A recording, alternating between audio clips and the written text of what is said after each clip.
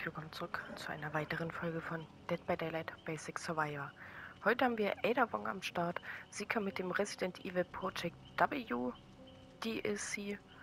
Manchmal ist es besser, nicht zu viel zu verraten. Und niemand weiß das besser als Ada Wong. Die Überlebenstricks der geschickten und rätselhaften Ada machen sie zu einer wertvollen Verbündeten, solange sie dieselben Ziele verfolgt wie du. So, ihre Geschichte. Ada Wong war ein einziges Rätsel. Ihre Vorgeschichte, ihre Nationalität, ihre Loyalität, ihre Beweggründe, selbst ihr richtiger Name. War sie eine Unternehmensspionin, die gegen die Umbrella Corporation arbeitete?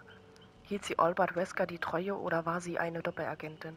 Ganz eindeutig war sie zur Attentäterin ausgebildet worden, eine Waffenexpertin mit einer umfassenden Ausbildung in Kampfsportarten. Bei ihren Nachforschungen zu Los Illuminados wurde sie gefangen genommen und bei einem Opferritual beinahe getötet. Schließlich entkam sie, aber schließlich entkam sie aber und wurde nie wieder gesehen. Ein weiteres Rätsel. So, dann hat sie auch drei einzigartige Talente. Verwanzen. Wenn du Fortschritte bei der Generatorenreparatur gemacht hast, kannst du eine Spionagewanze anbringen, die für gewisse Zeit aktiv bleibt. Wenn sich der Killer einem verwandten Generator nähert, wird seine Aura für alle Überlebenden sichtbar. Reaktive Heilung. Wenn du verletzt bist, erhältst du sofort einen Bonus für deinen Heilungsfortschritt, wenn der Killer einen anderen Überlebenden in deiner Nähe verletzt. Unauffällig, sobald du der letzte Überlebende bist, werden deine Kratzspuren, Blutpfützen und Schmerzenslaute vorübergehend unterdrückt. So, dann gucken wir wie immer. Wenn ein anderer Überlebender im Umkreis von 32 Metern verletzt wird, heilen wir sofort um 50%. Dann für 90 Sekunden sind unsere Kratzspuren, Blutpfützen und Schmerzenslaute verborgen. Und wenn sich der Generator, äh, wenn sich der Killer den Generator auf 14 Meter nähert, ähm, sehen wir die Aura des Killers. Wenn der Generator vom Killer beschädigt wurde oder der Timer abläuft. Okay. Gut, das heißt, wir müssten den Generator 50% ähm, reparieren, damit wir das dann nutzen können. So, dann nehmen wir wieder eine Werkzeugkiste mit. Die hat uns ja eben in der Folge mit Heidi relativ viel Glück gebracht. Zumindest hat sie relativ gut mitgeholfen. So, wir nähern uns auch schon langsam, ganz langsam dem Ende zu. Oh, schade, ey. Wir hätten eventuell doch nochmal bei dem Generator mithelfen sollen. Wegen dem Skillcheck, da hätten wir jetzt eine andere Aufgabe wählen können. Aber es ist nicht schlimm. Dann müssen wir halt mit Ada das fertig bekommen. So, bei den Überlebenden weiß ich gar nicht. Wir haben noch 1, 2, 3, 4, 5, 6, 7, 8 Überlebende. Mit Ada zusammen sind es 9 und noch 3 Basic Killer. Na ja, gut, da werden wir dann sehen, wie lange wir das brauchen. Ich glaube, das kriegen wir relativ schnell hin, weil ich ja zwei Folgen am Tag von den Basic Leuten bringe. Deswegen sollte das eigentlich auch gar nicht so lange dauern. So, mal gucken, wie lange es jetzt noch dauert, bis die Leute äh, bereit sind, dass wir die Runde anfangen. Schauen wir mal. 10 Sekunden sind es noch. Das ist gar nicht so schlecht. Sollte jetzt auch gar nicht so lange dauern. Bobom. So, wir haben zwei Leute mit der Taschenlampe dabei. Wenn ich sowas sehe, bin ich immer so gespaltener Meinung, ob entweder wird die Runde was und ähm, wir können relativ gut entkommen, oder die Runde wird nichts, weil die versuchen penetrant zu blenden und sich dann halt am Haken sterben lassen und und und oder halt einfach getunnelt werden vom Killer und so. Was ich persönlich auch ganz gut nachvollziehen kann, weil es gibt schon einen Grund, warum die meisten Killer aus der Lobby rausgehen, wenn Leute mit der Taschenlampe drin sind. Also ich hatte das persönlich auch schon ganz oft, dass ich dann gesagt habe, nö, ich gehe wieder.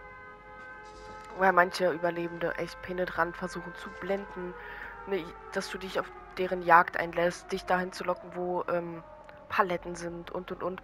Und als Killer macht das dann auch nicht gerade sonderlich viel Spaß. Aber ich finde sie, ups, aber ich finde sie halt echt, also Ada ist auch so eine Survivorin und wir haben Shaggy. Ada ist auch echt so eine Survivorin, die ich echt cool finde und auch voll mag. Auch von ihrem Outfit her und so finde ich sie schlecht.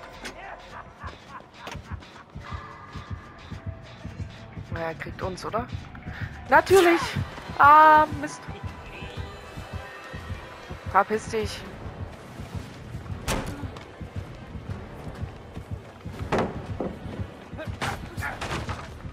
Macht die Palette kaputt. Nein, ich hab festgehangen. Ich hab schon wieder festgehangen.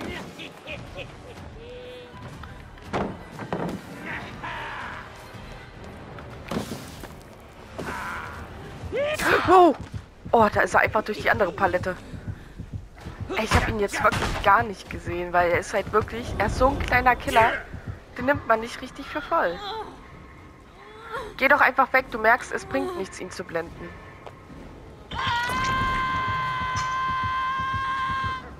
Okay, du bist am Arsch. Ja, danke schön. Ist er jetzt Campy? Na naja, gut, da hat er die andere noch gesehen, ne? Okay, er geht da lang. Jetzt kommt uns jemand retten. Die Nia kommt uns retten, okay. Jo, er, ist, er hat gecampt, er hat gecampt. So ein Arsch. Aber er jagt uns nicht hinterher. Irgendwo war ein Generator fast fertig. Ich finde, sie läuft ein bisschen komisch. Hört sich ab und zu an wie ein Pferd. Ja, warte mal, kann ich mich heilen? Nee. Ich dachte gerade, dass ich mich heilen kann. Warum auch immer.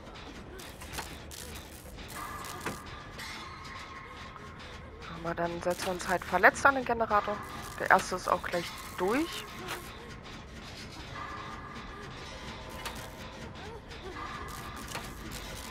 Wir können auch gleich dieses Teil notfalls benutzen, wenn wir das wollen.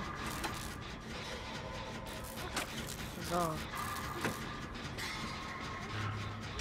Und damit ist die Werkzeugkiste auch aufgebraucht. Ich glaube, hätten wir ähm, öfter mal den großartigen Fähigkeitscheck geschafft, dann hätten wir bestimmt den Generator damit fertig bekommen. Oh nein. Warte, jetzt könnten wir hier... Okay, jetzt habe ich Spionage-Dingsbums angemacht.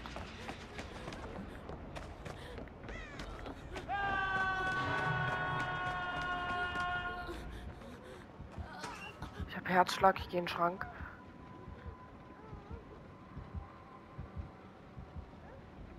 Ich weiß nicht, aber ich glaube, wir werden... Ey, Nia! Ja, heile mich bitte zuerst, bitte.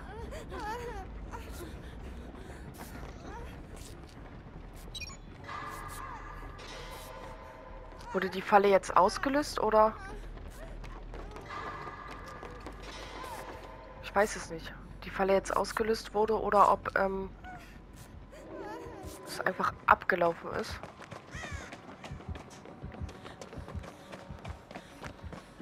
Ja, okay, er hat sie kaputt gemacht. Krass, ich habe ihn aber nicht gesehen. Schade eigentlich. Ich dachte eigentlich, dass ich ihn äh, sehen kann, aber kann auch sein, dass er in seinem versteckten Modus drin war. Da sieht man die Killer ja dann eh nicht.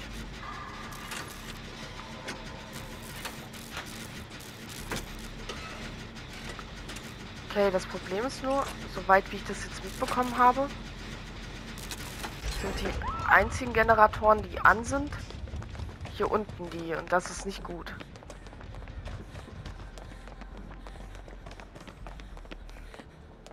Ähm, danke.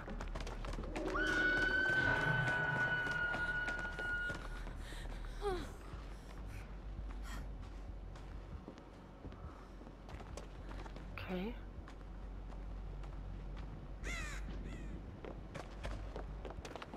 Gut, dann versuche ich sie jetzt zu holen. Nein, ich will die Punkte.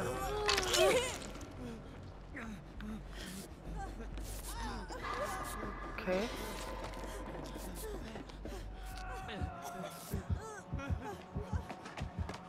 Okay, dann ganz schnell weg. Gut, ich verstecke mich hier. Ich weiß nicht, ob er uns sieht. Ich glaube, er kann uns von hier aus sehen.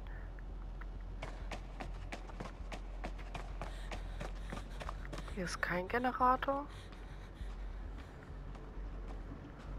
gesagt, auch kein Tote, ne? Manchmal sind ja hier in diesen Dingern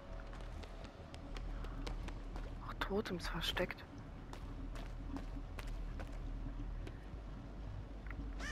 Er hat die Nia. Wo ist Nia hingerannt? War die nicht bei uns in der Nähe? Ja, sie war bei uns in der Nähe.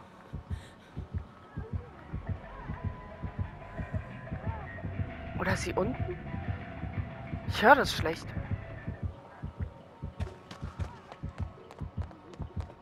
Glaube, sie ist unten. Hm. Ja gut. Gucken wir mal, ob wir hier unten, äh, hier oben zumindest. Ah, da ist ein Generator, okay. Gut, Max sitzt an einem Gen. Und wir sitzen jetzt mit Renato an einem Generator. Wir könnten die Runde echt hinbekommen. Es waren bisher, also es waren alle bisher erst einmal am Haken.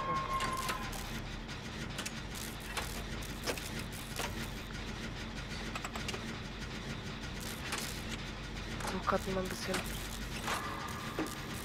hinzuhören. Okay, dann gehe ich schon mal Nia retten. Oh, oder Nia wurde schon gerettet, okay.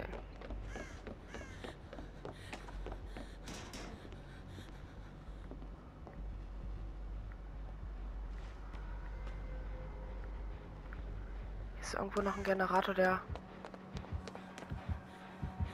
Okay, der hier wurde kaputt gemacht.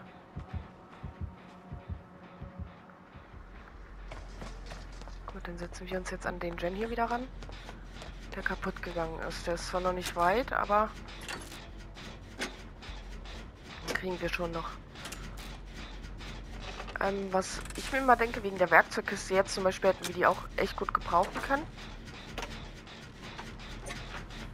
Aber dann wiederum denke ich mir halt so, ja, lieber am Anfang mit verbrauchen als am Ende. Aber ansonsten, ja, hätte man die sich eventuell auch am, fürs Ende aufheben können. Oh, Nia hat einen Strike dabei.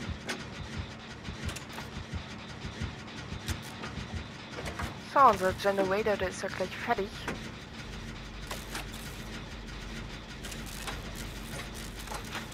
Dann gehe ich schon mal nach unten zum Ausgang, dass ich den gleich aufmachen kann. Jawohl.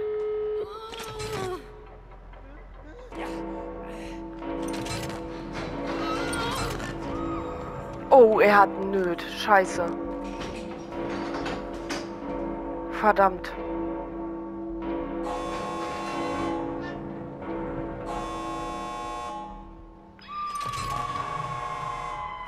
Nein, Mann.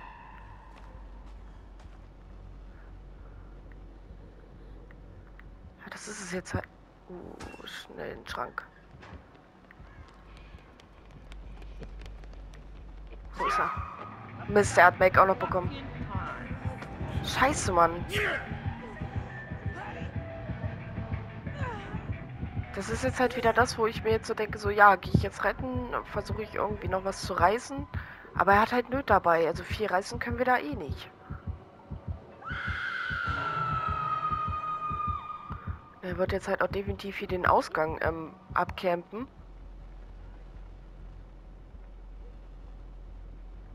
Ich höre ihn nicht. Aber ich höre die ganze Zeit kleine Schritte. Okay, pass auf. Ich mache jetzt den Ausgang hier auf.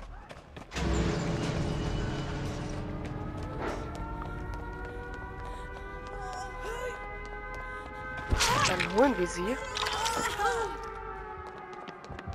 Und ich gehe hier in den Schrank. Mac kann auf jeden Fall raus. Sie hat gediente Zeit. Die kann jetzt rausrennen. Renato ist raus.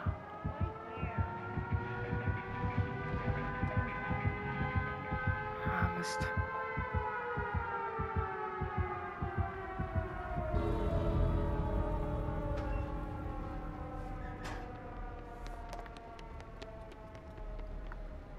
Muss es versuchen. Ich weiß nicht, ob er jetzt noch hier ist. Okay, Nia ist raus. Das heißt, wir können jetzt auch raus. Oh, das war jetzt echt gut, dass er am Ende wirklich weggegangen ist. Somit haben wir es alle rausgeschafft. Das ist echt top. Wir haben auch einen Pip bekommen. Ach, schade, hätte er uns nicht aufgegangen, hätten wir einen Doppelpip gehabt. Na, egal. So, korrupte Intervention habe ich, äh, davon habe ich jetzt nichts mitbekommen. Pop goes to Wiesel. Keine Versteckmöglichkeiten. Und nöt halt ganz einfach. Okay. Aufgabe haben wir auch fertig. Und damit war es auch mit Ada Wong. Ihr könnt ja gerne mal in die Kommis schreiben, ob ihr Ada Wong gut findet, wie ihr sie findet. Ich finde sie nicht schlecht. Ihre Perks, ja, ihre Perks ähm, ist jetzt nichts, wo ich jetzt wirklich sagen würde, oh, ja, die nehme ich jetzt immer mit und so. Außer ähm, den hier, den finde ich nicht schlecht. Und ansonsten die restlichen sind jetzt eher nicht so mein Fall. Ja, dann sehen wir uns hoffentlich beim nächsten Mal wieder.